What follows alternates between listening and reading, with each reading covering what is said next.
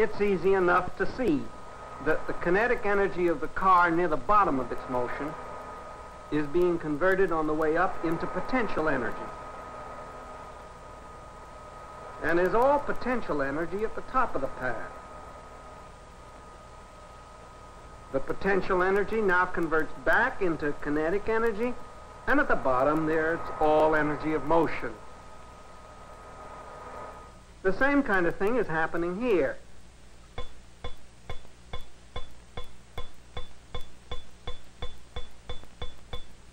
Watch it in slow motion. Kinetic energy, the energy of motion, now becomes the energy of separation between the ball and the earth. And down at the bottom, it all goes into potential energy of compression. Now all along, all the time, the ball is losing energy. What about the principle of conservation of energy? You know it loses some by friction with the air, but it also loses some when it hits the glass plate. It's a lot easier to photograph the compression of a rubber ball than a ball bearing, but the idea is the same. As you can see, the energy loss at impact is important, but it's easier to discuss the uh, energy loss due to friction with the air and once you've understood that, you'll understand the effect of the solid surface too. Let's go take a look at a model of a gas we've got over here.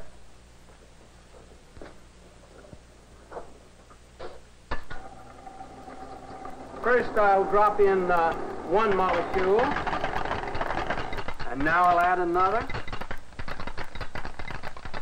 and now another. And even with only three you see how ridiculous it would be to try to keep all these motions in mind. Even in slow motion, even though it's easier to see, you'd still have to be outrageously patient to keep track of all of these motions.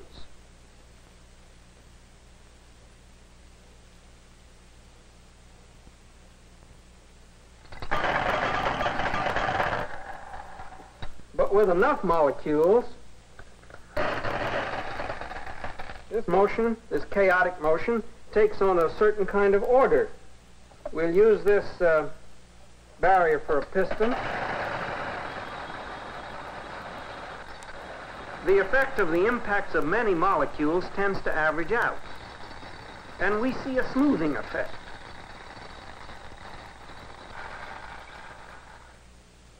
Now, in a real gas, we substitute average quantities. For instance, for the uh, bouncing of the molecules against the wall, for the collisions that impact against the wall, we take an average quantity called the pressure, the force per unit of area. You read it on a pressure gauge like this. And for the motions of the molecules inside the gas, what we do is to substitute for their average kinetic energy of motion, average kinetic energy of linear motion, a simple quantity called the temperature. You know, what you read on a thermometer. Now, what gives us the privilege of substituting a concept like temperature for the average kinetic energy of motion of the molecules? Temperature you've grown up with all your life, and uh, the kinetic energy of a molecule is something that uh, maybe you just hear about. The argument is really simple. It goes something like this. The kinetic theory of gases, the theory, says that the pressure in a gas is proportional to the average kinetic energy of the molecules. The average kinetic energy of the linear motion of the molecules. The text has it all worked out, but uh, let's write it this way. One of these quantities, mv, uh, comes from the momentum change at impact. The molecule hits and it bounces back, and the momentum change is, of course, proportional to the momentum of the molecule. And the other V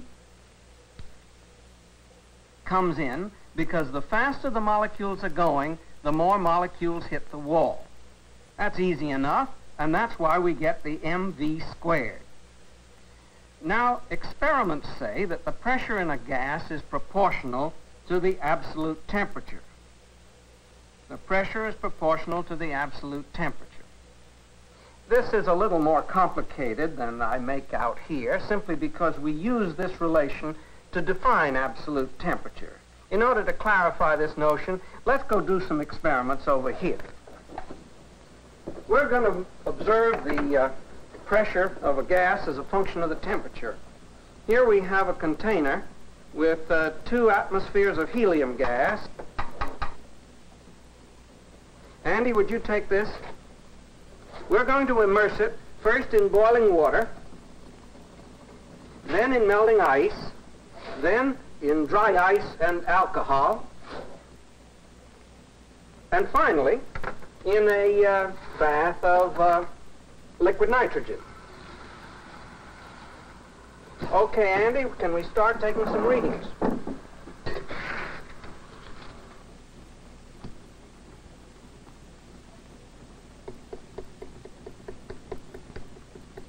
Two point four nine.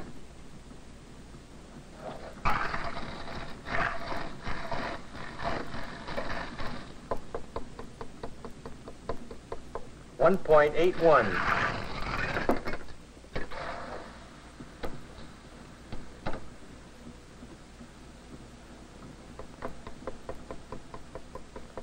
One point three eight.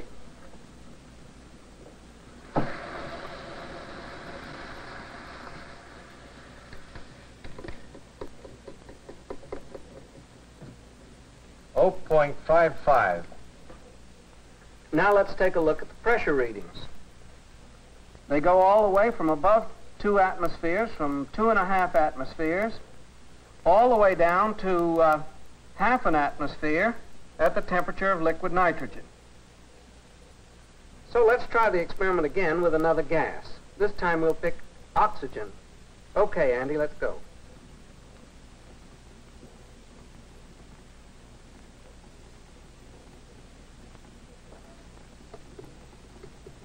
Two point four three.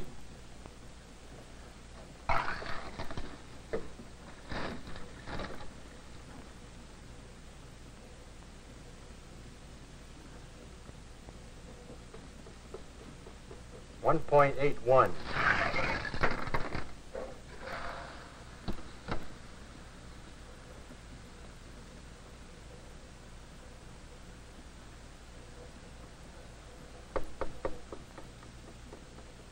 One point three nine.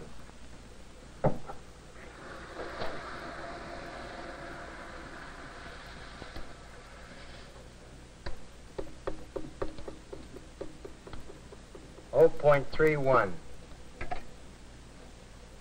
Let's take a look at the oxygen data. Compare the two sets of readings. Remember, we forced them to fit at room temperature at two atmospheres for both. But at boiling water temperature and at melting ice and at the dry ice temperature, they agree perfectly, as well as we could read them. But down here at the temperature of liquid nitrogen, the oxygen reading is very different from the helium reading. Some of you may have uh, guessed already what went wrong there. Let's take a look here. Uh, here's some uh, liquid nitrogen in a uh, tin can. And uh, let me hold this so you can see.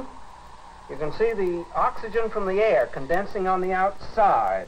And if you don't believe that's oxygen, just watch what happens.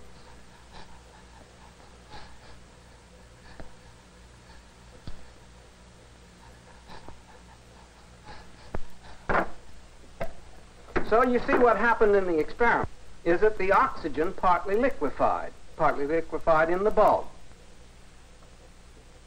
If we had taken a lot less gas, for instance, if we had put in a less than a tenth of an atmosphere in both bulbs, then the readings would have agreed all the way down, right down through the nitrogen point. What I'm trying to say is this, that for gases that are uh, thin or tenuous, like the gases in the upper atmosphere, if the agree at one temperature, if you take a certain amount of gas so that they agree at one temperature, they will agree all the way up and down. So we take this universal property of gases, as a way of defining the temperature scale. In order to clarify that, let's go look at the graph right here. Let's plot uh, the uh, pressure against temperature, but we've got to pick a temperature scale. Let's set the temperature of melting ice at 273 degrees arbitrarily, and we put our point there. Now what we do is to draw a straight line right through that point and the origin. Then we can put our other data on that graph and say, by definition, that the pressure is proportional to the temperature. And that defines our temperature scale. Now, if we want to read the temperature of boiling water, say, we put its pressure at 248 right there and uh, read its temperature. It comes out, of course, 373 degrees. That gives us 100 degrees between the temperature of melting ice and the temperature of boiling water. And that's exactly why we chose the 273 for the ice point. So we'd get that 100 degrees difference between those two temperatures. Now if we want to find the temperature of uh, the uh, carbon dioxide slush, we plot its uh, pressure at 1.4 right there. So it comes out 220 uh, uh, degrees absolute. And the liquid nitrogen temperature, the pressure from the helium graph, of course, we put right at 0.55 there. So it is at a temperature of about 80 degrees absolute. Now let's plot the oxygen point here. That 0.29 falls off the graph. You knew it would. And you know why? We started with too much gas in both of the bulbs. Too much helium, too much oxygen. They weren't tenuous enough for them to agree all the way up and down. Let's go back to the logic. Uh, what we said was simply this. From the theory, from the kinetic theory of gases, the pressure is proportional to the average kinetic energy of linear motion of the molecules. And we've just discussed that the pressure in a gas is proportional to the absolute temperature. We simply identify one with the other and say that T, the temperature, is proportional to the average kinetic energy of motion of the molecules. We simply measure the average kinetic energy of translation of the molecules by observing the absolute temperature. When a gas is hot, the molecules are moving fast. When it's cold, the molecules are moving slowly. But all of that energy, all of that energy is chaotic. It's random. Now, in a mixture of gases, with heavy molecules and light molecules, the heavy ones are moving relatively slowly, and the light ones are moving fast to keep their kinetic energy up. Even in the extreme case of these particles of smoke, in this Brownian motion experiment, the average kinetic energy of the smoke particles is the same as the average kinetic energy of the molecules of the air even though these smoke particles contain millions of atoms. Okay, let's get back to our original question. What happened to the bouncing ball when it lost energy to the gas? In order to show what we think happened, we'll have a model. Here's a frictionless disk, which we'll let slide down an incline, gaining kinetic energy as it goes until it hits. Now, what would happen to that if it went through some gas? The best way to show that is to bring on some gas.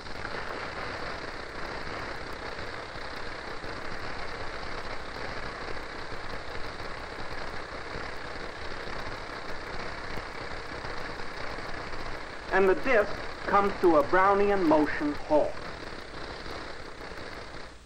Let's try it again. The orderly kinetic energy of the disk is transferred into disorderly random motion of what we have called the molecules that were hitting it. It may not be perfectly apparent, but every time a molecule hit that disk, some of the energy of the disk was transferred over to it. In that way, the disk lost its energy to that gas of molecules. In exactly the same way, when this falling ball that we were talking about falls through the air, its energy is transferred into the random energy of motion of the gas, random energy of motion of the air. And when that ball hit the table, hit the plate, then the same sort of thing happened. The orderly energy that you could see, both potential energy and kinetic energy, were converted over into energy of motion of the molecules, of the plate, and of the ball, and of some of the air. So we have to ask the question, is the energy conserved? It certainly is. Then where does it go? At least you know what it doesn't do. It doesn't just go backwards like this. What usually happens is that we get what we call thermal conduction, heat flow. Energy flows from a hot body to a cold one. Let's go take a look at a model of that over here. Here is our old friend the marble machine. Let me turn it on first.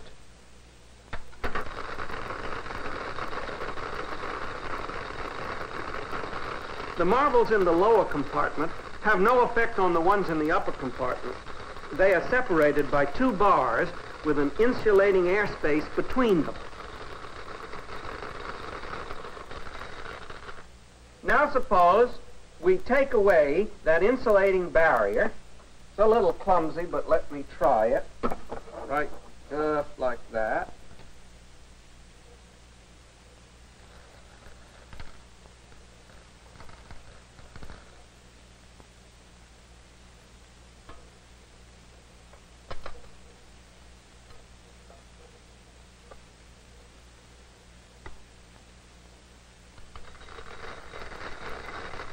With the insulating barrier removed, the marbles in the lower compartment are now able to transfer their random thermal energy to the marbles in the upper compartment. And that's exactly what happens when we heat something with a flame.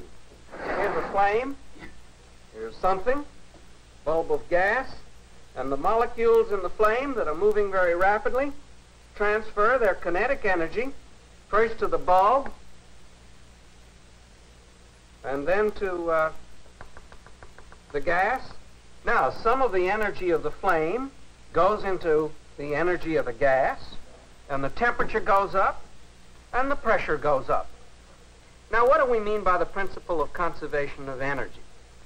Energy appears in various forms as kinetic energy and potential energy, and uh, sometimes it's orderly, and sometimes it's random. And when it's random enough, we call it thermal energy. Some people call it heat. What we mean by the principle of conservation of energy, then, is simply this. We believe that energy is never created, never destroyed.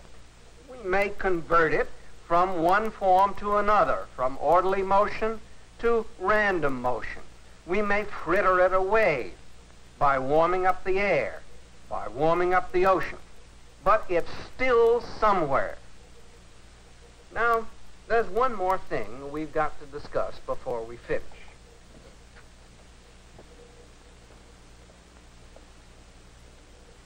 Now, when we transport energy, we might transport the whole material body, complete with the energy and all, like uh, throwing hot rivets or carrying coal. Or we might have energy transported by molecular bombardment. We've just been discussing that. We call it heat conduction.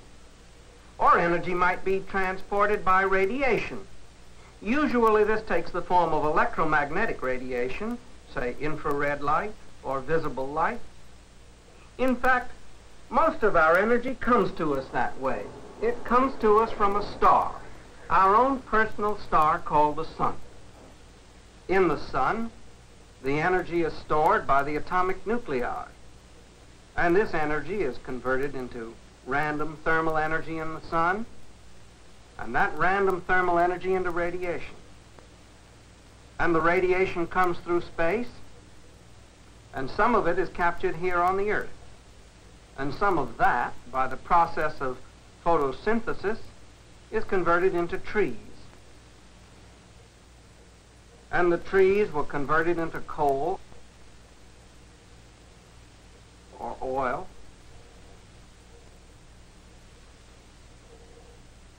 And some of that fuel was converted into hot steam or something that turns a turbine or runs a motor. And we get orderly mechanical energy out of that. But regarding the conversion of thermal energy into mechanical energy, and then mechanical energy back into thermal, more of that in the next film.